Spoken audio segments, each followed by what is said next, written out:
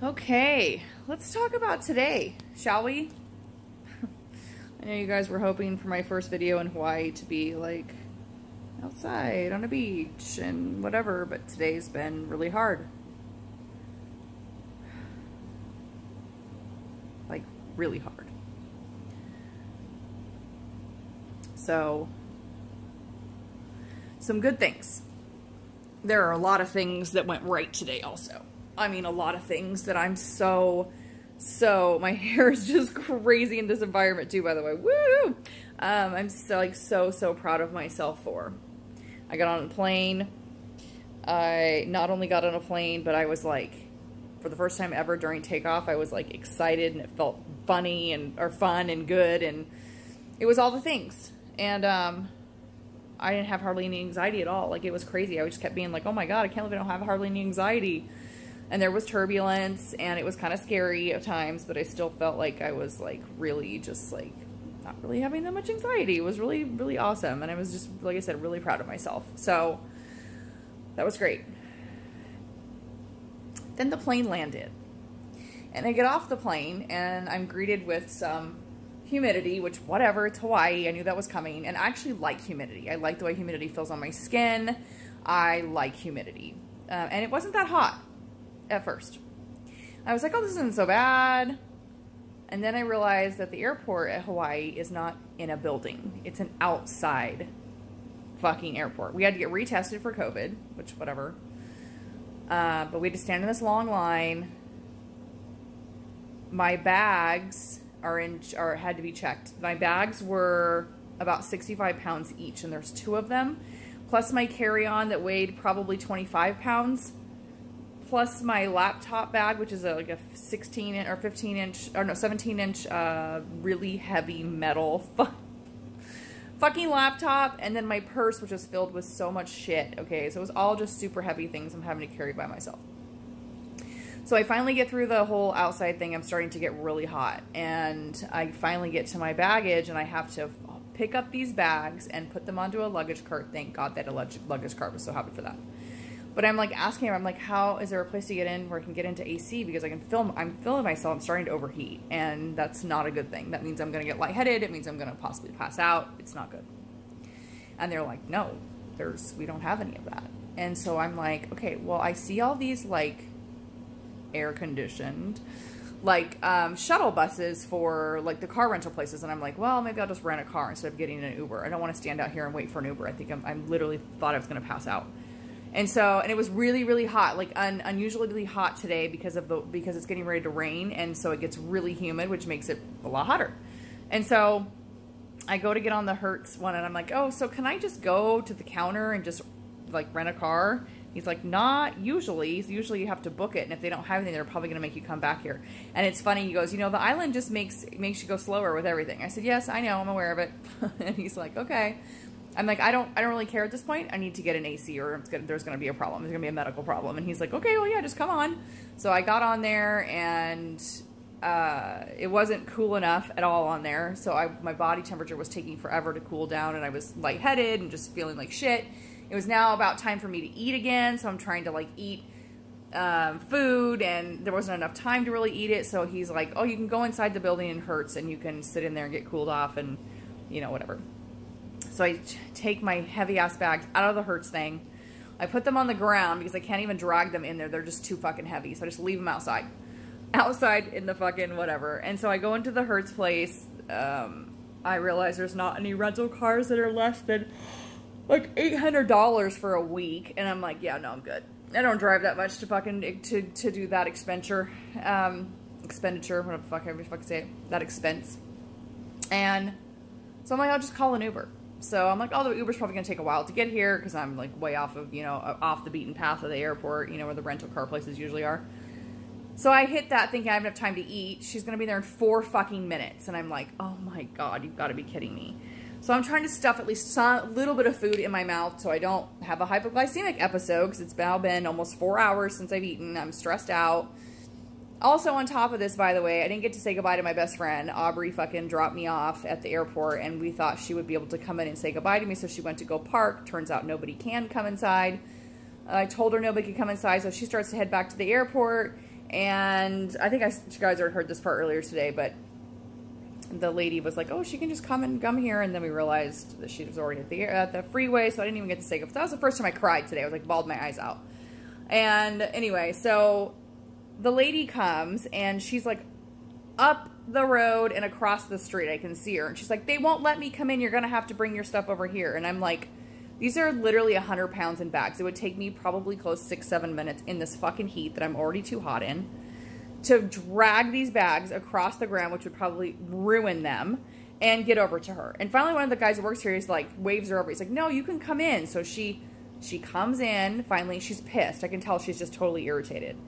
And I'm like um, trying to get my stuff in her car, and she's like being weird about it. And I'm just like, okay, well. And then we get into her vehicle, and of course, all her windows are down and no AC. And I'm like, oh, I'm so sorry. Can we turn the AC on? And you could tell she was irritated by that. I was like, I'm so sorry. I'm super heat intolerant. She's like, well, why'd you move to, to Hawaii if you're heat intolerant? I'm like, I didn't choose the island. The island chose me. And she's like, oh, I've heard of that a lot, actually. so we kind of chuckled about that. So that was kind of nice. And then I realized that my room is not ready yet, so I'm like, well, what the fuck am I gonna do? I said, well, I guess I could sit in the lobby. It's probably air conditioned. She goes, no, no, lobbies are outside basically. And I'm like, oh my fucking god, this this fucking island. And so I was like, okay, well, she said there was a Safeway close by. I do have to get some stuff, so why don't you just go just go to Safeway? And then I'm thinking, and I go, oh shit, I have all my bags. What the fuck am I going to do with all these heavy ass bags while I'm grocery shopping? I said, I guess I'll just put it in a cart.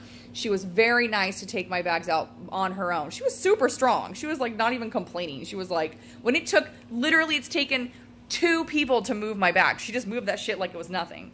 And so she picked them up and she put them in the fucking, uh, in the cart for me. By the time I figured out where my credit card was, I thought I lost it um, she'd already had them in there. And I was just like, oh my God, thank you. So I tipped her a bit. And I kept telling her, I'm going to tip you big. I said, I, I know I'm a pain in the ass. I'm going to tip you big. And she still was just kind of still irritated and shit. It was kind of seriously, it was irritating to me. Anyway, so I get into the fucking store and the people in Safeway are super nice. There's a lady and she's like, oh yeah, you could just leave that cart over there while you do your shopping. I went and got a sandwich. Finally got some real food in my system. Started to feel somewhat fucking normal. Um, and started to cool down finally. Um, and then another, I had to get, had to get another Uber to come um, back to this place. So I get to this place and it's gorgeous, you guys. It is so beautiful. I've taken some other video that I'm going to put up after this one so you guys can see it. And I'll, I'll turn this screen around so you can see also. But, um, so I get here, take my bags, and I pull them down these stairs, eh, through the lobby, onto the other side over here where I know I'm going to fucking have to come over here. And this big burly guy comes out. He's super nice. And I'm like, so is there like, I said, I don't ever ask for help on these things, but is there anyone that could possibly help me get my bags? Because my place I'm renting is all the way across your place and it's up two flights of stairs and I have no idea how I'm going to, my bags are like 50, 60 pounds a piece. And he goes, nope, sorry nice. I was like, really? I said, okay, well, I don't really don't know how I'm going to get them up there. I said, I guess I'll just have to leave one here and drag it across. He's like, well, I do have kind of like a hand truck, only it was like, it like was like a, was like a, like a, not a flatbed, but it, it came out that way so you could actually lay stuff on top of it.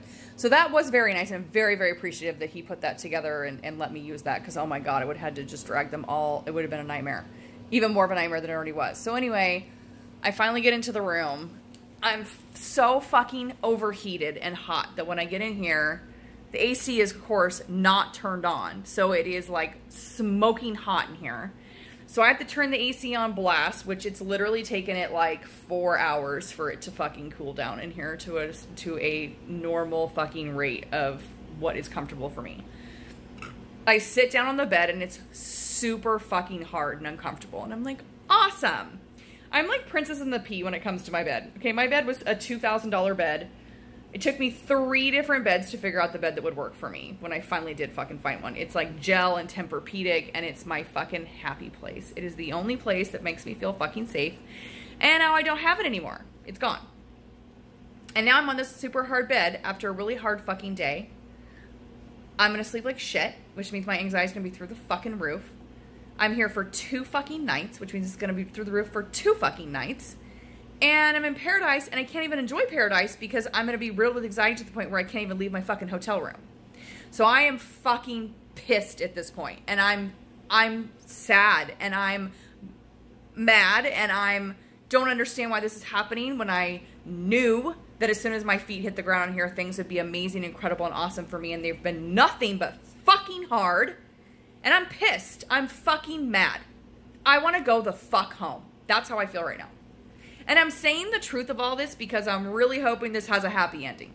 I'm hoping that this can be looked at and look back on and be like, yeah, bitch, and you were fucking feeling like shit. Look what fucking happened. Because there's been so much amazing synchronicities and fucking things that have happened to get me to this fucking island that I am refusing to believe that is not for some bigger fucking reason. Now, I broke the fuck down. I cried the ugly fucking cry. I feel not comfortable. I feel alone. Um, I feel not comfortable at all. I feel like I have had shitty fucking living experiences for almost two years straight. Medical issues on top of that. While that was fucking happening. And then I finally get six months at Sierra's place, bless her fucking soul, where I feel like I have my own space and I feel comfortable and safe and I have an amazing bed and I feel awesome. I know I'm not supposed to be there anymore. It's very clear I'm not supposed to fucking be there anymore. Like if I think about going back there, if my bed was not there, it would be a hell no would I ever go back there. Just because I, and nothing to do with anyone except for the fact that I just know I'm not supposed to be there. My energy doesn't resonate anymore. So now I feel like I can't go home because it's not my home because I'm not supposed to fucking be there. And now I'm in this place where I'm definitely not fucking home. I'm not fucking comfortable. I don't feel fucking safe. I don't say safe. I feel safe. I don't feel anything bad's going to happen to me. I just feel uncomfortable as fuck. And my beautiful friend Annette came to see me. She lives here. She's the one that saved that sent me the kukui nuts that helped me so much on the plane. Oh my god, I love her so much. And she came all the way out. She came out not all the way, she came. She lives over here, close here, and she came out here and she bought me a sarong and she brought me this awesome fucking I don't have it. Um, this awesome towel that feels like a fucking blanket. It's amazing. And I'm hearing noises. The fuck? And yeah, she sat here with me for a while and was just like so kind to me and such a friend and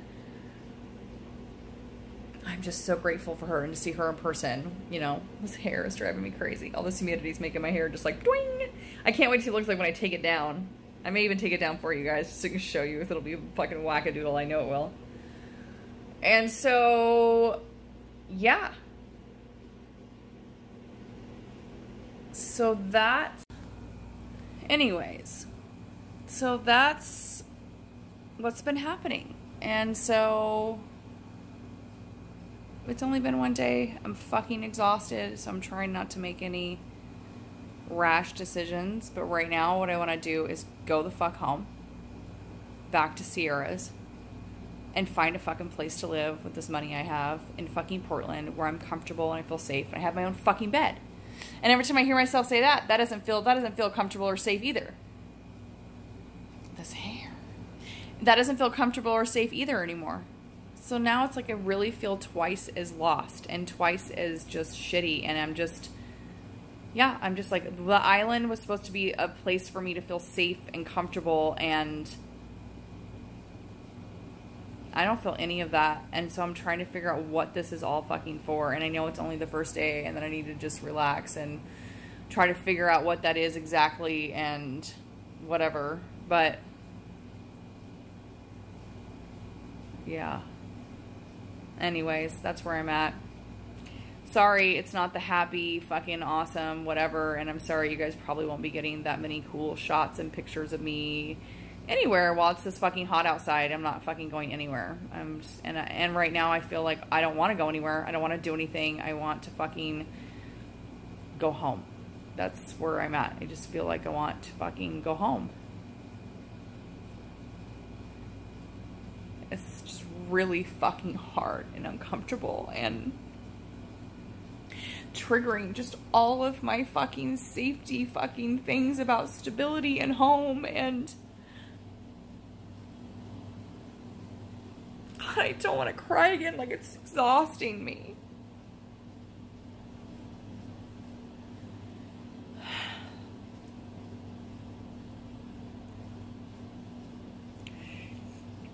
And by the way, there isn't really any jet lag. For those of you that think this is jet lag, because they're two hours behind me. Okay, there's not like a I've actually gained two hours. I didn't lose any time. So it's not that. And I know I'm just I'm trying to see like the bigger picture of this, and I'm trying to like take my own advice, and I like am repeating that everything's working out for me. This is just really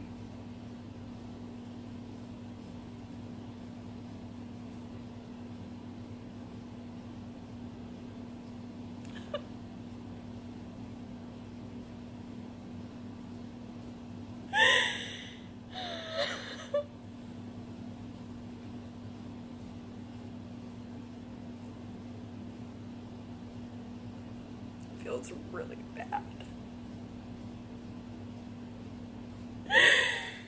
It feels really bad. It feels scary and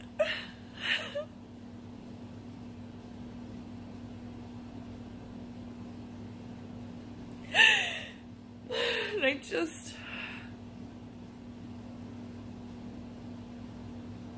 I just keep hearing myself say like can't be for nothing like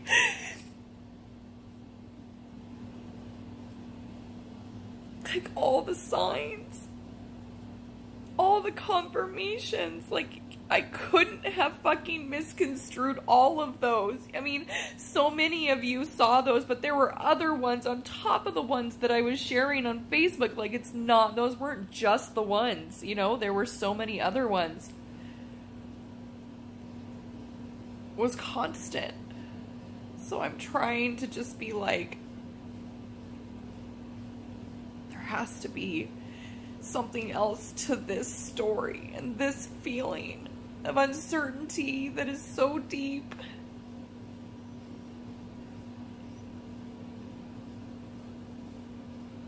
And that's, you know, a bigger part of me just feels like that's what this is all for. I don't know, to get me to this place where I can never be triggered this way again, that like, if I can find comfort and find stability in a place where I feel this fucking alone and just lost that I could do it anywhere and like that type of stability and safety be able to feel that anywhere is priceless and it does open up doors and opportunities and things that are in reflection of that. And so I am trying to see that and understand that. I am.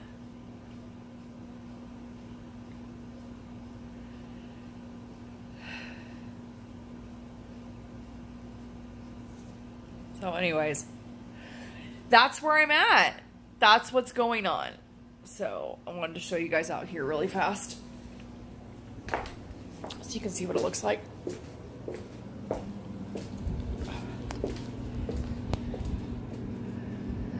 Yeah, so I've got a pool. Let's see if I can get this.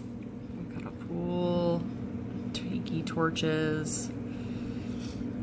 Yeah, it's cute. And it's beautiful, actually. It's not cute. It's fucking beautiful. And let me see if I can show you guys what's going on out here, because this is really, this is really, really beautiful.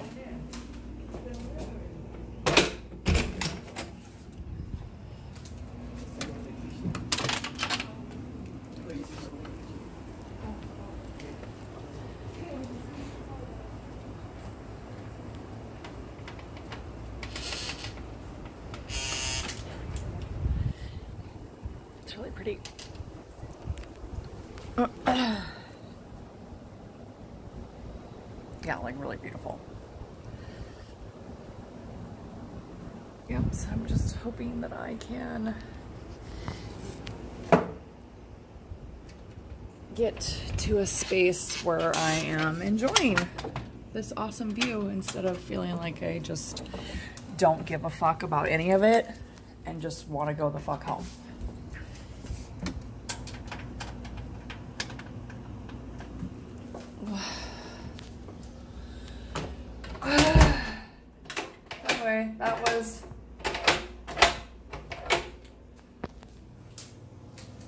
Some realness for you. It's how I'm feeling currently. Riddled with anxiety and fucking not wanting to be here. so, see how I feel over the next couple days. I'm sure I'm going to be feeling tomorrow, like a lot of people do when they release a bunch of things, go through things. I'm going to feel like I get hit by a Mack truck, and I'm probably not going to feel like I want to go fucking anywhere or do anything because of that. We'll see what happens. I got to find another place to live though, because I'm only here for two nights tonight, tomorrow night. Then I got to find another place. So someplace that has a comfortable bed, hopefully, so I can at least get some fucking sleep. So anyway, I'll talk to you guys tomorrow.